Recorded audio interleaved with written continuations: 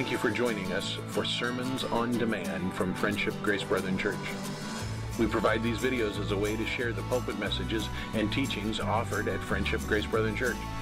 If you find these videos a helpful resource, please drop us a note at info at friendshipgracebrethren.com. Now open your Bibles and get ready to dig into the Word of God. Good morning, all.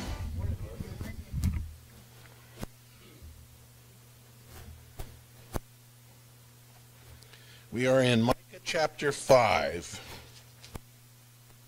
Those of you reading in your Hebrew Bible, chapter 4, 14, uh, verse, um, chapter 4, uh, verse 14.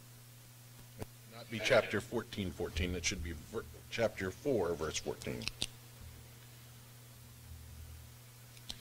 There are a few places in our in our English Bibles that do not follow the Hebrew Bibles. And if you're going back and forth, it gets to be difficult.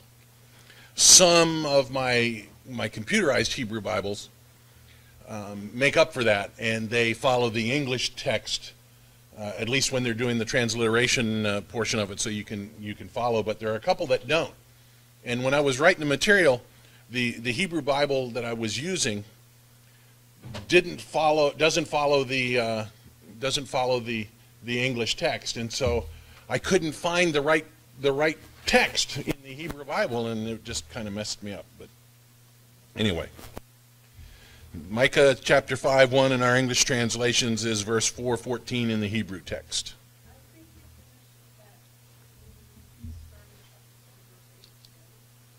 Oh, you're right. See, I even marked it there, and I didn't even look at my mark.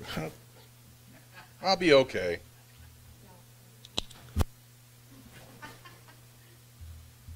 Wow. Wow. No, it still applies. Just remember it in a little while. Sheesh. It's a hardcore group today.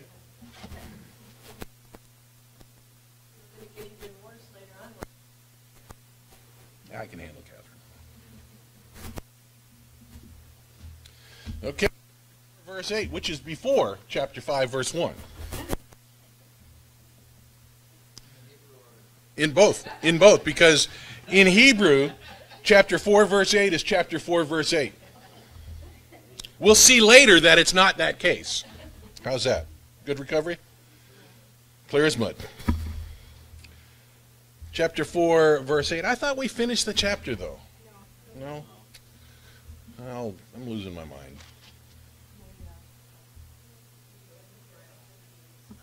Yes, it is. I will uh, find my mind next week in Haiti. Well, it won't be it won't be hot, so it won't be real hot, and we're staying at the hotel. So I, I knew you were going to rub that in.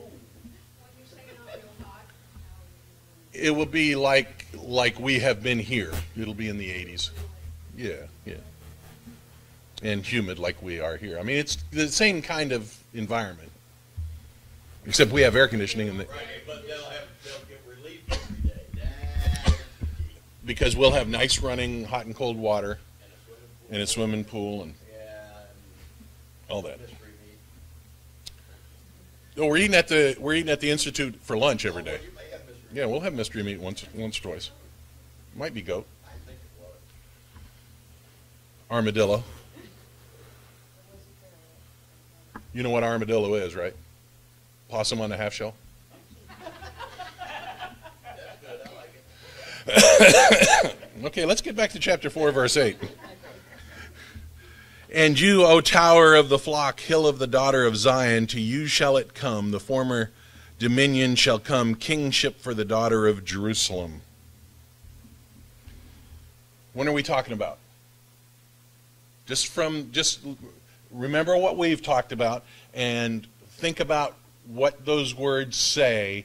What period of time would you believe that we're talking about here? Millennium, exactly. Okay.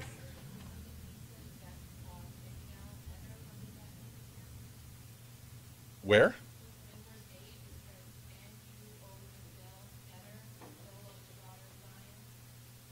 Oh, Migdal Eder? Yeah. Wh- What,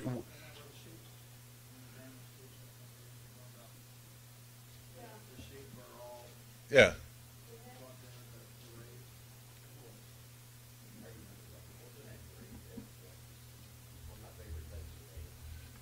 The net says what, Ann?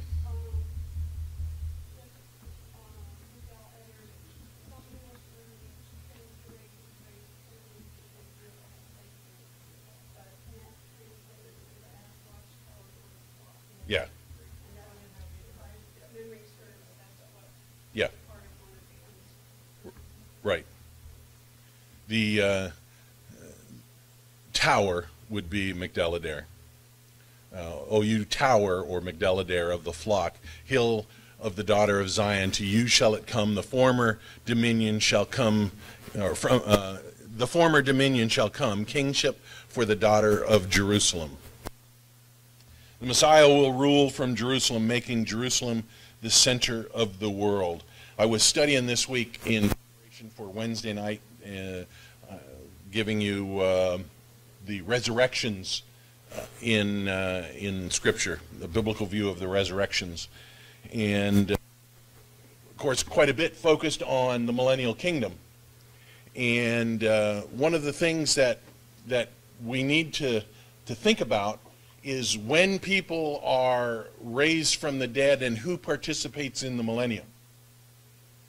And one of the things that I had forgotten, I knew it a long time ago, but I had forgotten until until this study, is that not only will Jesus be on the throne, but David will be his regent, his vice president, what how, his uh, his uh, prime minister, whatever you want to want to call it.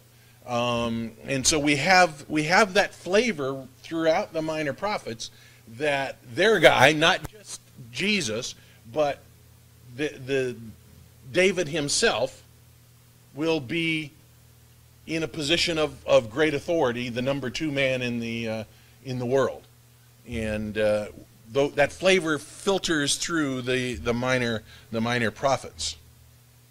The seat of power will be the entire of the entire world will be Jerusalem. Some commentators have argued Jesus is the king of the world, David is the king of Israel during the millennial kingdom. Um, what we need to recognize is that during the millennial kingdom, Israel, um, both nationally and ethnically, will have special privileges and purpose. Uh, that, that is contrary to our American ideal that everybody's created equal. Well, some are created more equal in the millennial kingdom. And the millennial kingdom is all about Israel. And Israel will have special privileges and will have special position and uh, special, uh, special billing before, before the king. And good. So, with that in mind, it could work out very well that Jesus is the king of the world and, Jesus, and uh, David is the king of Israel. Kind of a, a second tier king to the king of the world.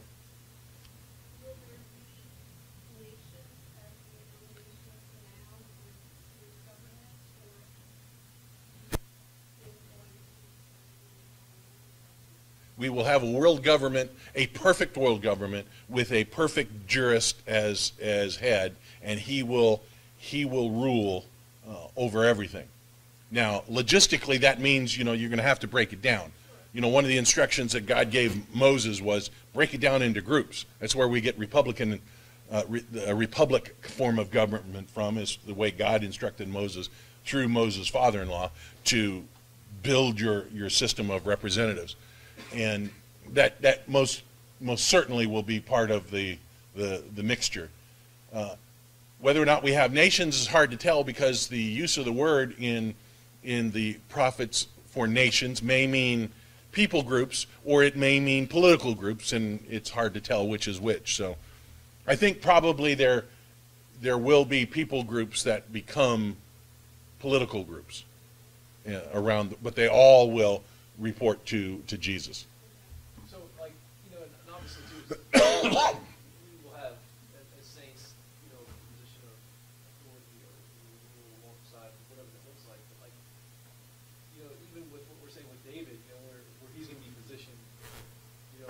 gotta assume, okay, is he qualified for that position based off of his body of work here on earth? I would say yes, because of the responsibility that- that he had.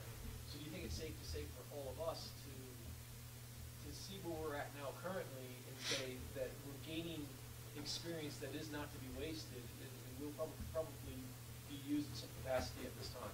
Yeah, Chuck would say that, that background in, Yeah, oh, that's right, that's right, that's right.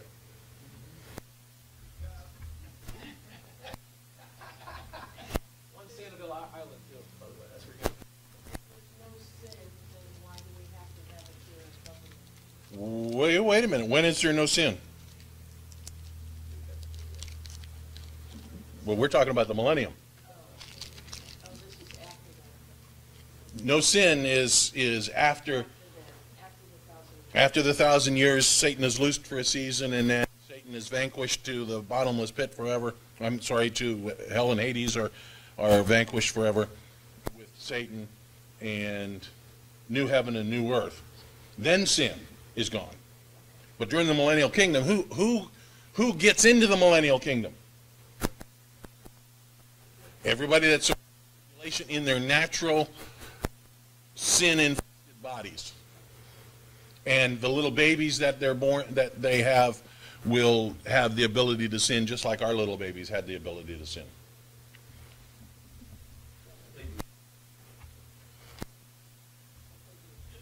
Right. We won't sin because we'll be in our glorified state but the natural people will sin and uh, i think you can argue that toward the end of the millennium, it, it is not as good as at the beginning of the millennium. I think you can make a case for that. Yep. Well, sure, it takes a thousand years of sin, more sin. Yeah, and I would just think naturally after all they just went through, that some of them are gonna have their eyes open and the moral majority of society should be leaning more towards good than evil. Everybody that's not a believer is dead at the end of the millennium, at the end of the tribulation. So it's only believers that get into the millennium, but they birth non-believers. So as we get closer to the rapture now, I mean, we're closer today than we were yesterday, is it not the same truth? You, you feel like this, this, I mean, there's nothing new underneath the sun, so we're not, we're not committing new forms of sin, we're just maybe committing more of it. And I, I think you can argue that we're not even committing more of it than at certain other points in our history. During the time of Paul, the, the, the, the morality of the world was much like it is today. You know, uh, I outlined it in, in a paper I wrote for us here one time about the four different kinds of, of marriage that were permissible in, in the Roman Empire. One of the permissible kinds of marriage was rent a wife. We call that today prostitution but you could go out and get a wife for a couple hours at the motel. You were legally married, and when you were done, you were unmarried. That was a legal form of marriage in at the time of Paul. The morality of, of society was was very much like ours today. I think one of the big differences is we're more vocal about it, and with our mass media. um, That's the difference with mass media. With, with, with Facebook and, and Instagram and all the ways that you can share all the stupid things that you do. I mean, it, really, that's what goes on on Facebook a, a great deal, is people sharing the stupid things that people didn't used to know you did. And you have, and something that might have made the news in your local newspaper or your local television, it goes up and they get Right. broadcast all over the place. So all the nastiness is coming out. So it looks like we're worse off than, than the world has been. I don't think we, we really are. Now, it is true that as we get closer to, to the end, apostasy gets greater, and I think that is true. We are the, the church is, is more is more apostate than it was. But it has been at times this apostate. During you know, in 1000 AD, the church wasn't much to speak of. You know, coming up to the Reformation in the 1500s, the church wasn't much to speak of, and then only after the Reformation. And so we go in these cycles. prior to the Reformation was really the Catholic Church. And that was as much or maybe more of a political, uh, Mhm. than a, um, religious one. Yep. Yeah, I Go think, back. oh, go ahead. Go back to your statement before about it being worse with the end of the millennium. Um. I, I think that that with the with the thousand years that there will a- and thousand years meaning how many more generations of sinful people that we we have this this misconception I think misconception that everything is is rainbows and unicorns and I didn't bring my unicorn sorry um, for the entire thousand years but history would say that's not a good way to view that because as as sinful people birth babies, they're sinful and maybe more sinful and and just can, in a thousand years. So, how has the world changed from a thousand AD to now? You know, quite a difference. Even though Jesus is on the throne, and he will be he will be dealing with sinfulness, sinfulness will still pervade. And, and I think that might be part of the point of the millennium. I'm just not, I'm just not getting progressive, getting worse progressively, progressively, however you wanna call it, from the beginning to the end when, when, say, Jesus will be on the throne. Saved people will also be with him. You don't have to look very far. With them, so, so people who are sinful, and there will be a time of those, obviously, that will have something else to, to, to see and go, okay, You don't have to look very far. Just go to the first three chapters of the book of Genesis. There you have people that don't have the sin nature walking with God in the garden and they still sin. So we're kind of we're kind of not thinking logically if we think that people with the sin nature walking with Jesus in in the millennial kingdom won't commit sins. This it's a necessarily any worse now than it was two thousand years ago. So why would it, It's a cycle. And I think why would it speaking, get worse in that one thousand year period if it hadn't gotten worse in this two thousand? Because it'll start out that everybody's believers, starts out everybody's saved, but then as the new babies are born, Right. they're not good believers, and as they grow up, their sin nature develops, and they wanna start trying things on their own. so like, All right, an all example, right, I, I, I like that in the beginning, uh, that, that's, Yeah. In yeah, the beginning- everybody's believers, and if you get either dead or they're believers. Right. and, and to back that up, so like, go, go through our Okay, reading. I like, thank you, Linda. Well, you ought to keep her around. I think I will. Our reading, reading yesterday, uh, it, it, I think is a prime example of this out of uh, Genesis four through, uh, actually midway through six, actually five verses in six. At the very end of Genesis four, it says, at that time, this is after the descendants of uh, Adam, up until Noah, at that time, people began to call the name of the Lord.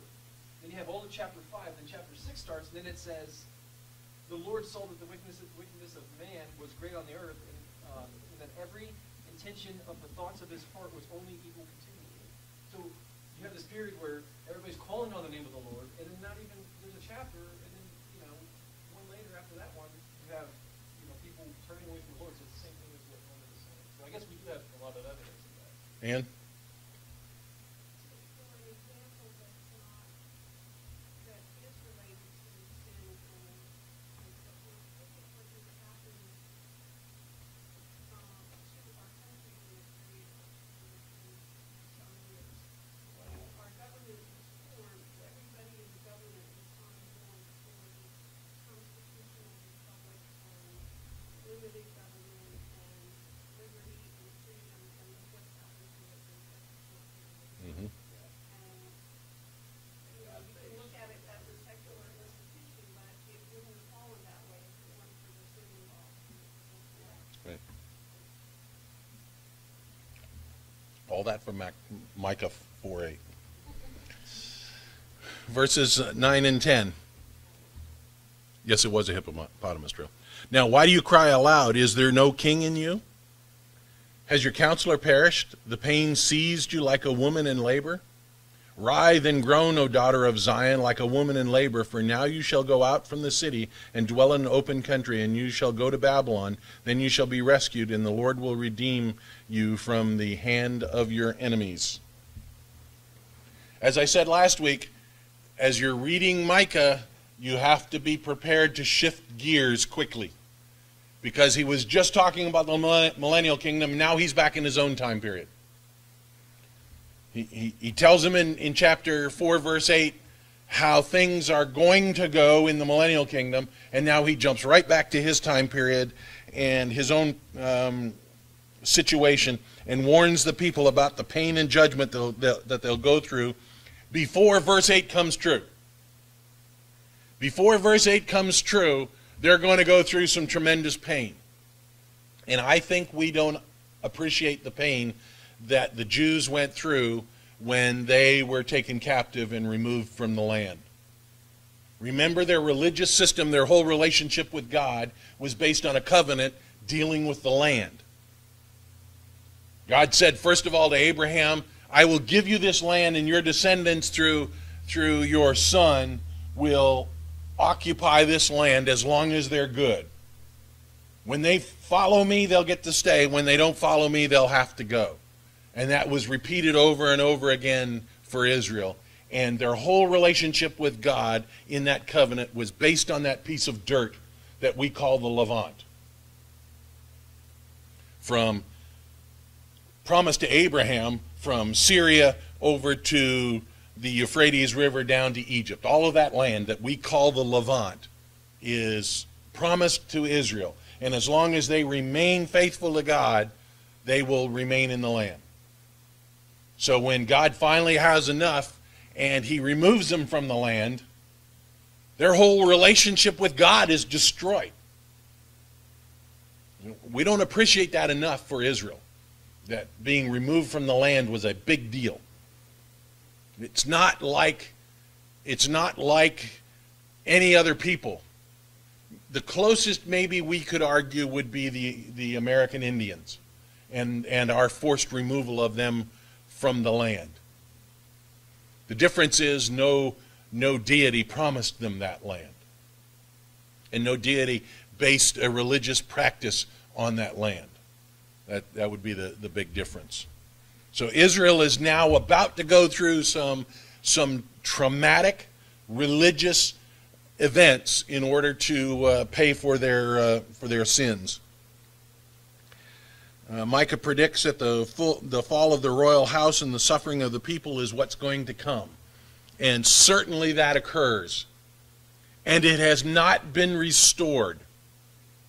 The royal house of Israel doesn't get restored until Jesus and David are on the throne in the millennial kingdom. And remember, that was their own desire that they had a royal house. Because initially, when Israel was created, God was the king, and they had, they had human managers. And they said, We want a king like everybody else. And so God gave them Saul. And from that, the, the united monarchy and then the divided monarchy. They'll be captured and taken into captivity and go into exile. Um, we should note that in verse 10 that Micah predicts they will be taken into captivity in Babylon. Understand, he's writing prior to Babylon becoming a power. This is still during the period of. Uh, Can you show us that area you're talking about too? yeah. And also, I, I could be wrong, but I thought I heard, um, speaking of the Levant, you had said you don't appreciate what Obama calls, uh, ISIL. Yeah, I don't. I don't appreciate that. That he and his administration are the only ones in the world to call this Islamic uh, state ISIL instead of ISIS. In, it's not the Islamic State in in uh, in Syria and the Levant, which is what ISIL means. That's a slam on Israel. That is basically giving Israel to ISIS. It's the Islamic State in Syria and Iraq. So you're saying, okay, that's where it is, I gotta get this straight. You're saying what they really are is the Islam, Islamic State in Syria and Iraq.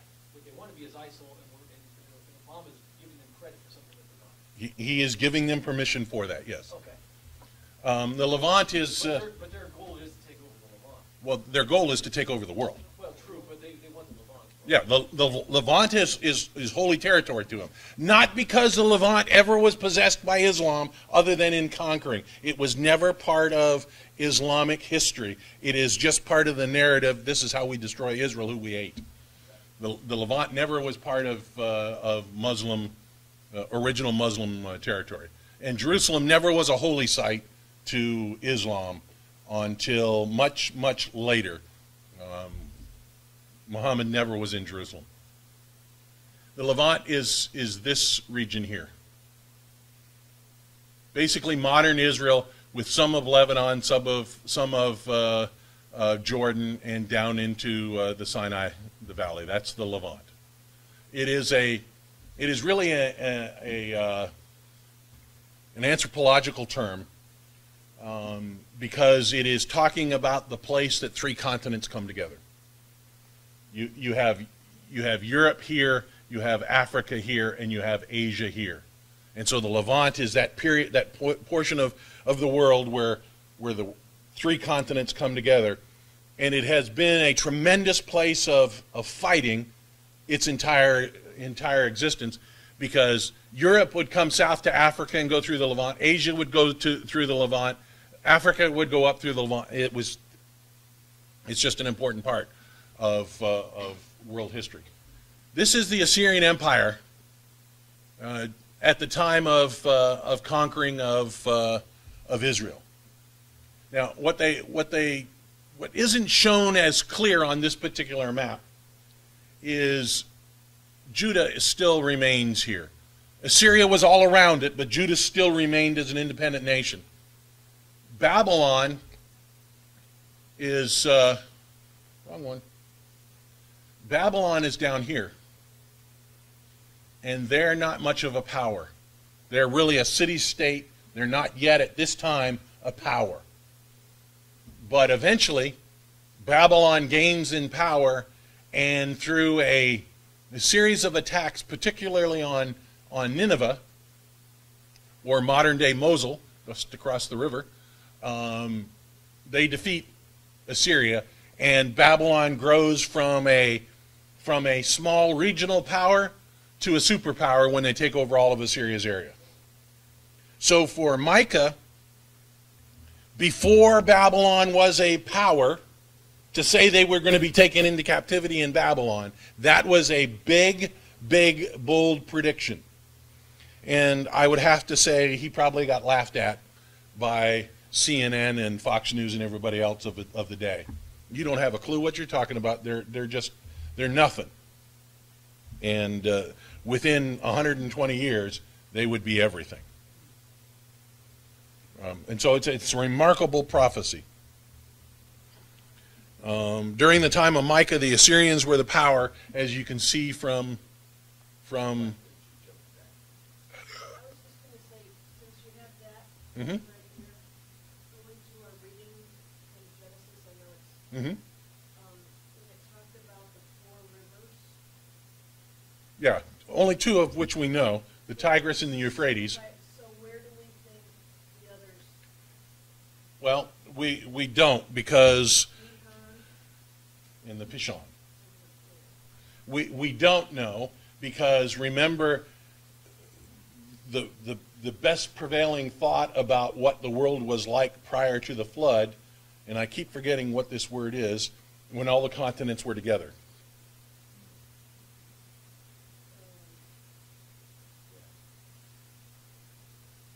Can't think of it. It'll come to me eventually. If, if I put my hand up during the message, you'll know I got it. Uh, and so we, we know of two of the rivers, or we know the name of two of the rivers. Whether or not those are those, of the rivers, you just don't know where two of them are. well, but we don't know that these two rivers are the two that are named. Oh, so you're saying, you're saying we can't confirm Right.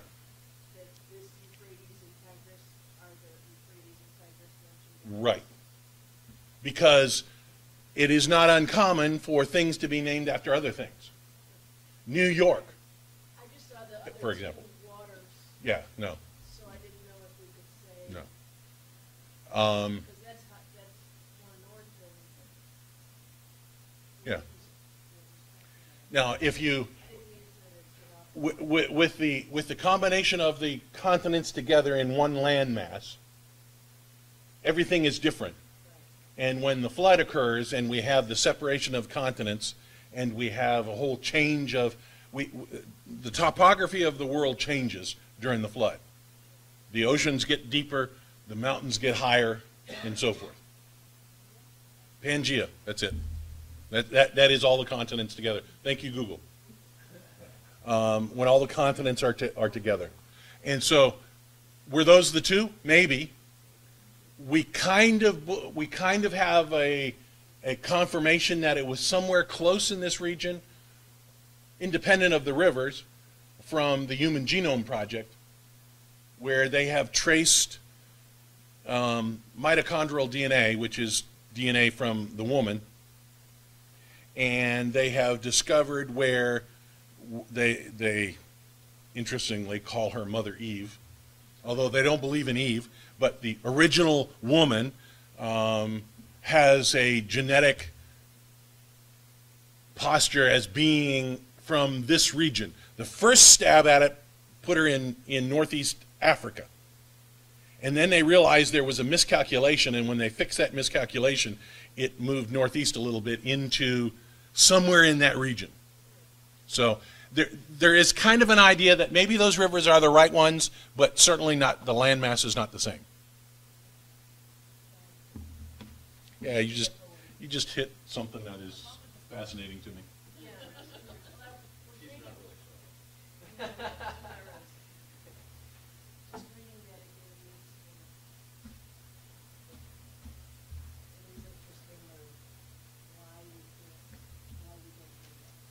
Well,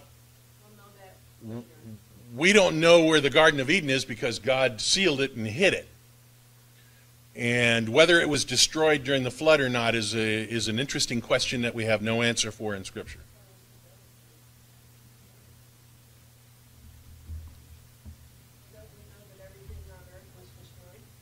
No, everything wasn't destroyed. A lot was destroyed and a lot was changed because land masses changed, but not everything was destroyed. Certainly anything man had built, but man hadn't built much by that time.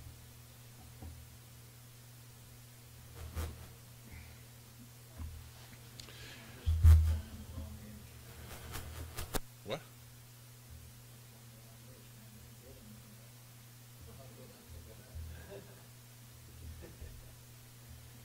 Just nothing I can say there without getting myself in trouble.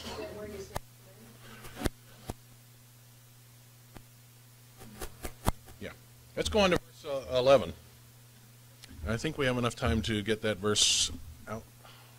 Maybe? Um, verse 11 through 13. So we will finish the chapter. Now, many nations are assembled against you, saying, Let her be defiled, and let her eyes gaze upon Zion. But they do not know the thoughts of the Lord. They do not understand his plan. They do not, uh, or that he has gathered them as sheaves to the thre- threshing floor. Arise and thresh, O daughter of Zion, for I will make your horn iron, I will make your hooves bronze. You shall beat in pieces many peoples, and shall devote their gain to the Lord, their wealth to the Lord of the whole earth. Did we shift gears again? In the previous verses, we're talking about the captivity. You think so? Arise and thresh, O daughter of Zion, for I will make your horn iron, I will make your hooves bronze, and I shall and you shall beat in pieces many peoples. It sounds like they win.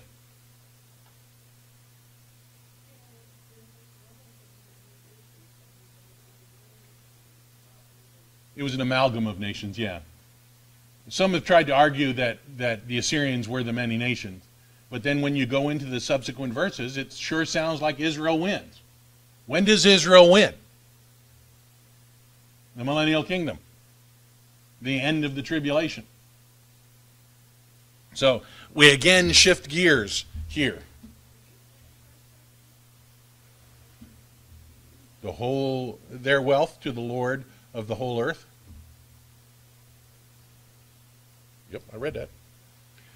Where- So, I just don't, I'm only gonna ask you, because you have a reference, a cross-reference to Revelation sixteen sixteen, Mm-hmm. and I don't see don't think anybody else does, study Bible or. Oh, whether uh, the, the, Yeah, I'm just curious, like, where does that come from exactly? I just don't see it in my list, so. I definitely see some New Testament, like there's Matthew, Luke, and that's it. well, it comes from my study.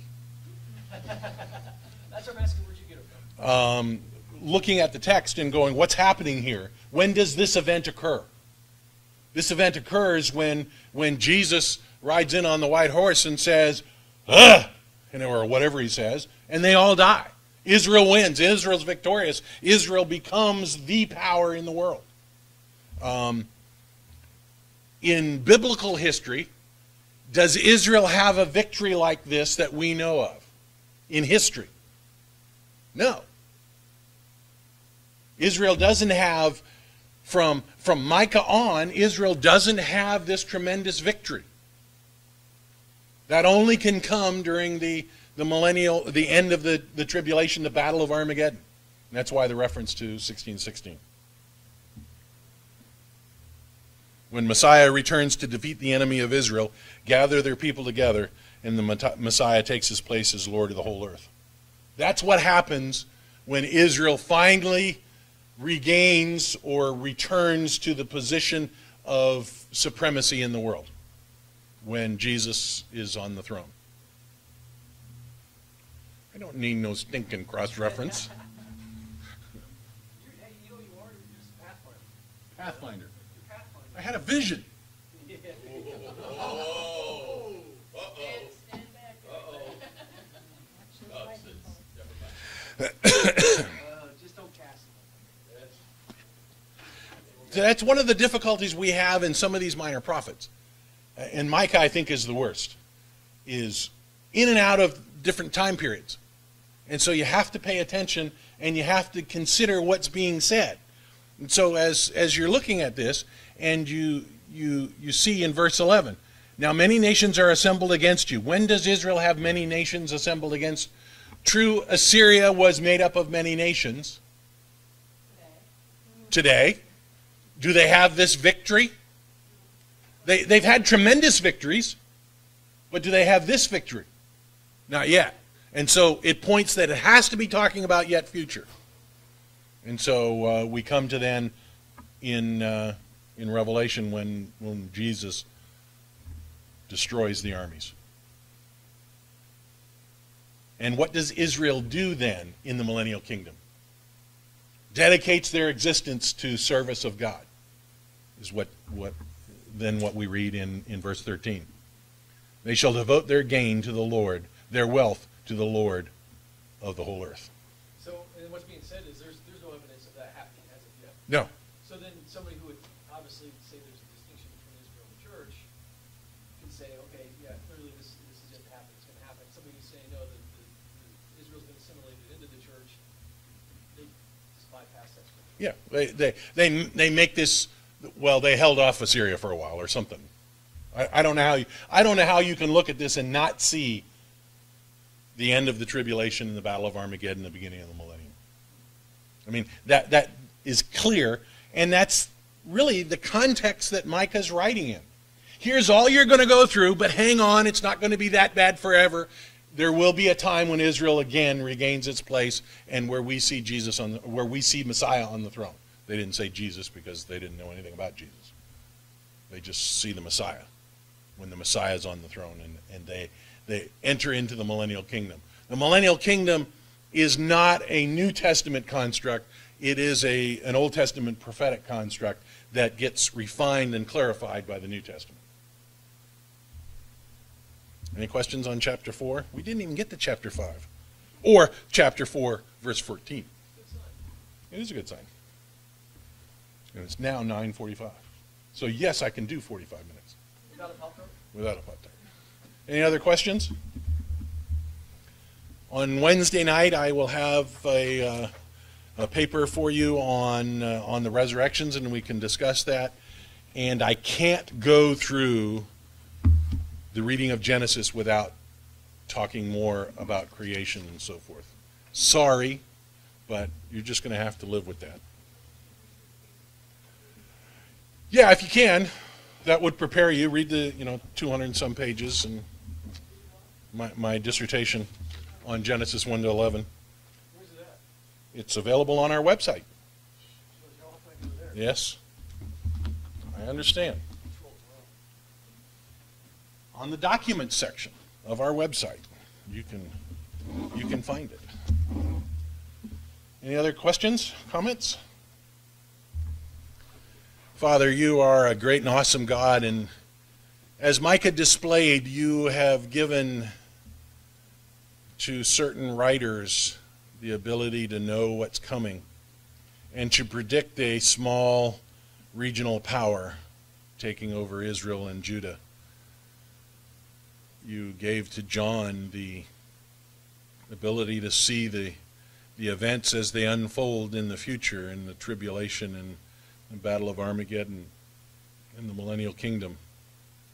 Things that are still future for us and we look forward to to studying those things more. We look forward to uh, a new year this year where we go through your word yet again. Thank you for those that participate in studying and learning and growing. We love you and we love your word and we love to study it and get to know you and to enhance our relationship with you because we know you just a little bit better. Thank you for the blessings that you give us and for loving us. We look forward to a, a great service to follow and a, a great week of fellowship and study and a great year of service and ministry for you. Give us a great time in the service to follow in Jesus' name. Thank you for watching or listening to this teaching on demand from Friendship Grace Brethren Church. Please consider sending us an email at info at friendshipgracebrethren.com to let us know how this teaching may have helped you. Please also consider joining us in person at Friendship Grace Brethren Church, located at 10251 Metro Parkway, Suite 116, Fort Myers, Florida, just south of the intersection of Metro and Colonial Boulevard. Sunday school begins at 9 and worship service at 10 a.m. We look forward to seeing you in person at Friendship Grace Brethren Church.